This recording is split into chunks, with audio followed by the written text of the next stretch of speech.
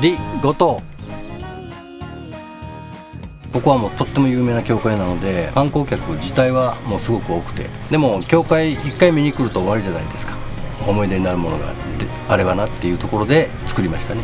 秘密基地みたいな。うちの母がお店も、まあ、看板娘としてやってくれてますけど。で5と無休365日。無休、うん、大変ですね。でも楽しい観光のお客さんなんかばあちゃん元気しとれよまた来るって帰ってくる。それが嬉しくてね。子供と一緒に仕事ができると一番幸せなことって思う。今はもう母に会いに来るっていうまあ島内島外関わらずですね、まあ、来てくれるので、まあ、今後の、えー、旅の意味っていうのはやっぱりその人じゃないかなっていうふうに思いますね。あの観光としてではなくてあの旅をしに来てほしいと思います。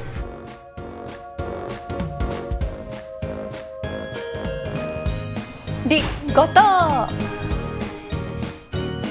五島でなんかしようって。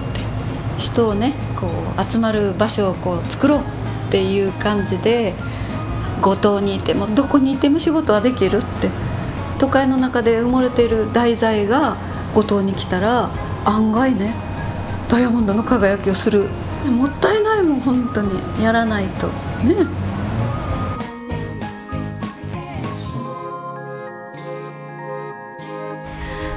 こと。なんかもしこの早稲崎灯台でやるんだったらそこ本当大変ですけどバージンロードになりません？ダメ？あの灯台の前で。めっちゃ帰るの大変だと思うんですけど行きは下り坂なのですごい険しいバージンロード。その後の結婚生活の方が険しいわけだから。確かに。その後の結婚そう大瀬崎のバージンロード。いいと思います。り後藤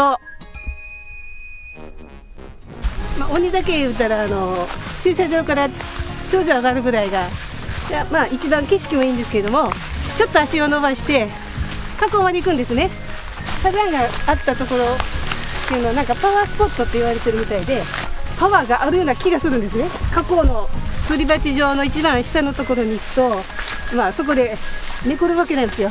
火口で。そうすると周りがもうみんな草草と空自然に囲まれてるって感じ。すごい気持ちいいっていうか。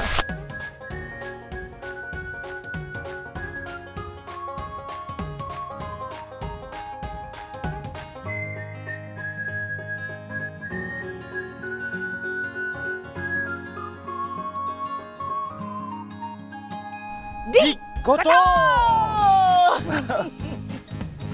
初めてでもサーモ使ったことのない子供たちやろうかな。はあもうものすごく喜ぶよ。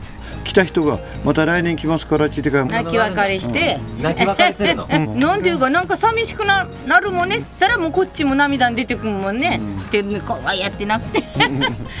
こんなこんなお母さんがおったら修学旅行生も喜ぶりことまあ私がここに来るきっかけになったのは母方の祖母がこちらに住んでて家を建て直すっていうのがあって一人でまた生活するの大変だなっていうのもあって、まあ、身軽な私が行ってもいいかなっていうので。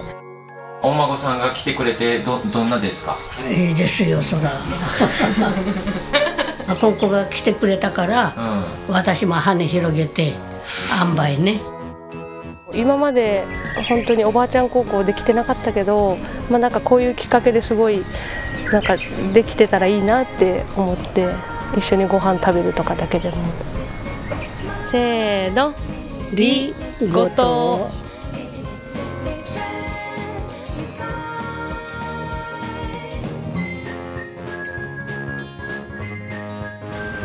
りごと。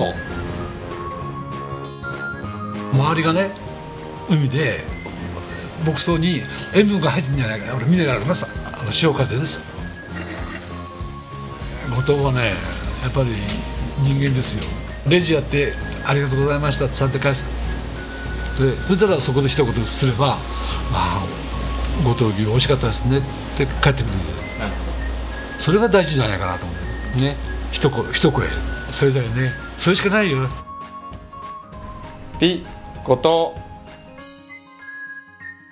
鍛冶屋というのはこう大儲けする仕事でもないですしいい使い手の方にですね使っていただいて初めてこう一つのものができると思いますので本当にこういいものを作れたらあの、まあ、田舎だろうと都会であろうとどこでも関係ないと思うので五島からあの日本にと言いますか。なるほどあの写真がめっちゃいいですねおっし。星をはい、すごいいいなと思いました。ありがとうございます。本当こう鉄って面白いなって言いますか。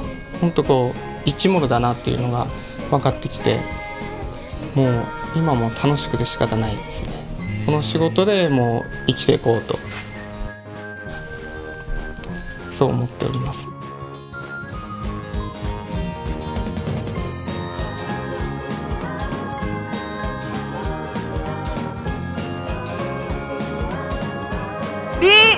り。り。り。り。り。り。り。